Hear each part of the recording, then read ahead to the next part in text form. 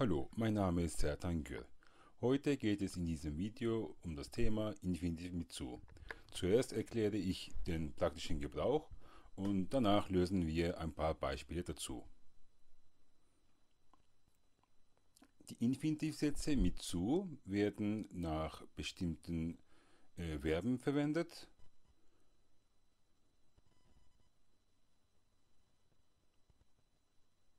Zum Beispiel, der Staat empfiehlt den Bürgern, zu Hause zu bleiben. Oder mit Nomen, mit Verben. Zum Beispiel hier haben, ich habe sowieso keine Lust, nach draußen zu gehen.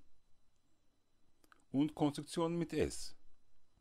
Es macht heutzutage viel Spaß, in der Natur zu wandern.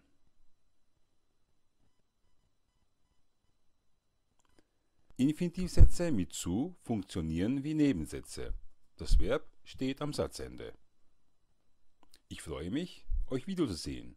Hier ist der Hauptsatz, der erste Teil und im nächsten Teil sehen wir eine satzwertige Konstruktion und das Verb steht am Satzende. Im Hauptsatz gibt es nur ein Subjekt. Ein Infinitivsatz hat kein eigenes Subjekt. Roland plant, nach Stuttgart zu fahren. Hier ist das Subjekt Roland und im nächsten Teil sehen wir überhaupt kein Subjekt. Das Verb wird nicht konjugiert und bleibt in der Infinitivform. Das Wort zu wird vor dem Verb gesetzt. Isabel versucht, den Computer zu reparieren.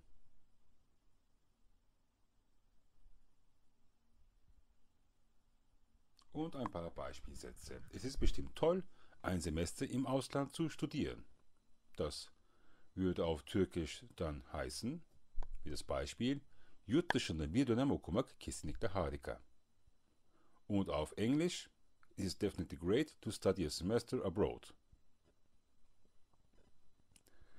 Ich vergesse manchmal abends den Müll rauszubringen. Und auf Türkisch?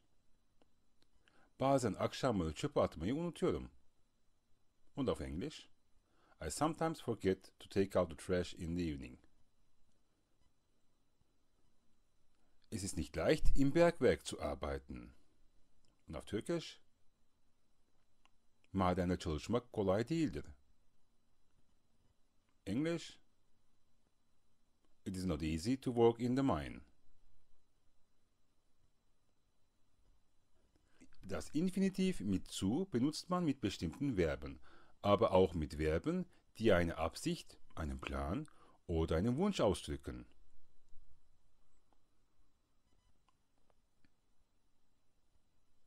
Zum Beispiel das Verb planen. Ich plane, nach Kalifornien zu fliegen.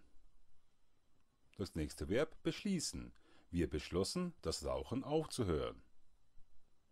Das nächste Verb sich auf etwas freuen. Ich freue mich darauf, dich nie wieder zu sehen.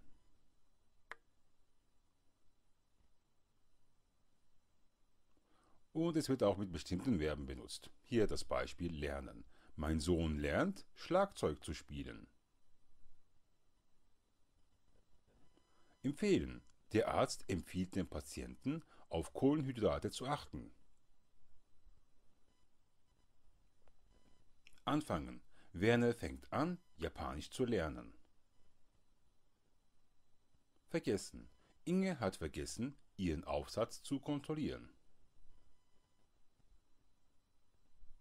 Eine Information, wollen und möchten werden nie mit dem Infinitiv zu verwendet. Er möchte, er will, an der Bude einen Döner essen. Er plant, an der Bude einen Döner zu essen.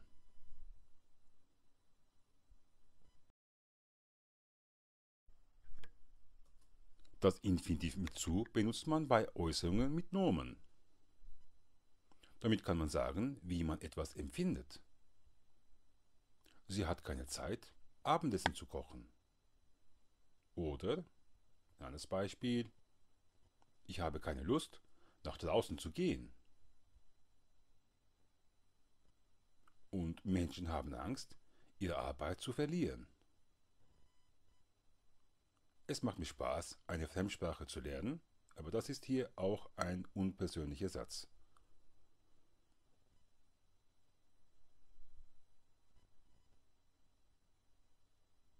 Das Infinitiv mit zu verwendet man auch bei Konstruktionen mit s. Damit wird gesagt, wie man etwas findet. Das ist auch ein unpersönlicher Auszug, wie im Beispiel, es ist schön, es ist toll und so weiter. Es ist schön, euch wiederzusehen. Manchmal ist es anstrengend, allein Deutsch zu lernen. Es ist schwierig, während der Corona-Pandemie zu Hause zu bleiben.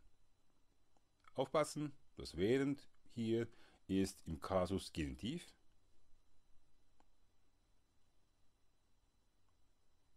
Und es ist verboten, im Zoo Tiere zu füttern. Und es ist nicht erlaubt, am Wochenende im Wald zu wandern.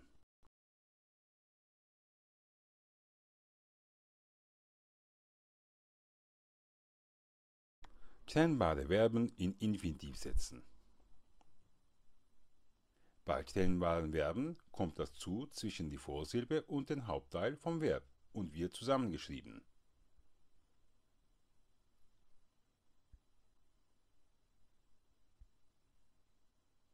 Zum Beispiel das Verb nachdenken. Hier nachzudenken. Beispiel: Letzte Woche hatte ich viel Zeit, über alles nachzudenken.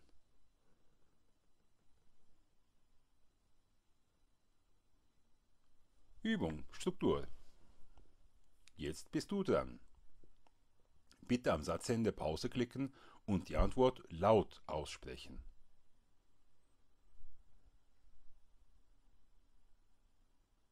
Lukas und Nadja wollen am Wochenende nach Berlin fahren.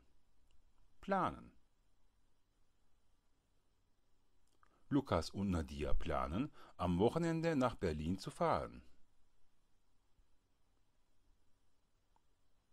Er möchte in seine Heimat fliegen. Mit dem Verb sich auf etwas freuen. Er freut sich darauf, in seine Heimat zu fliegen.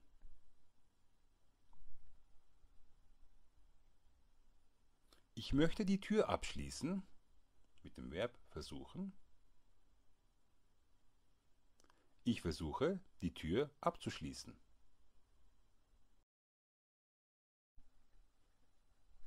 Übung 2. Wortstellung Normen mit haben. Bitte nach der Aufgabe Pause klicken, die Wörter in die richtige Reihenfolge setzen und die Antwort laut aussprechen. 1. Zeit, ich, heutzutage haben, waschen, Auto, mein.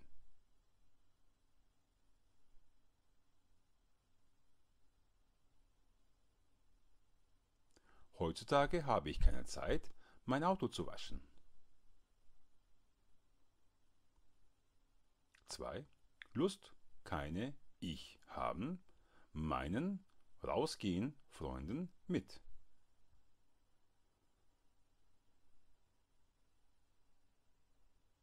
Ich habe keine Lust, mit meinen Freunden rauszugehen.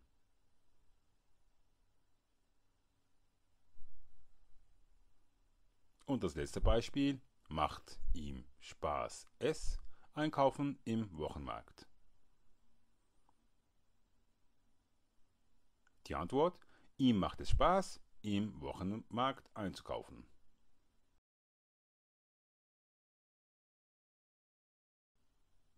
Übung 3. Konstruktionen mit S. Ich finde es schwierig, bei Lärm einzuschlafen. Wir werden einen unpersönlichen Satz bilden.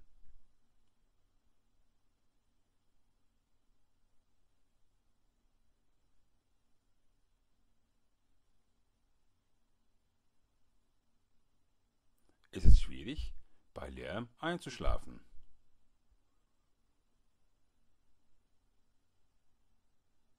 Im Wald wandern verboten.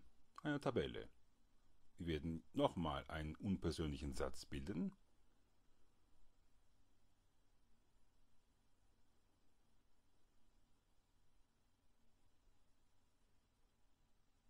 Ja, das heißt, es ist verboten, im Wald zu wandern. Und zuletzt Fahrradfahren im Park erlaubt. Noch einmal ein unpersönlicher Satz.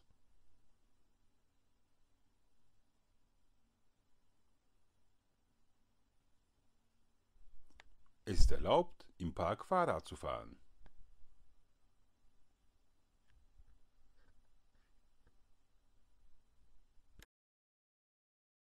Und zuletzt ein paar Hinweise für euch.